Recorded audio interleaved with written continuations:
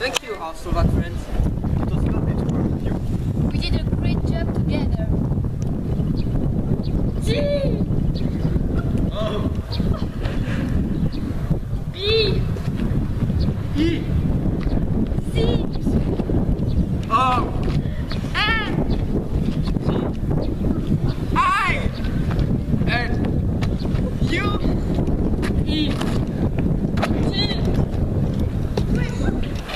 Thank you.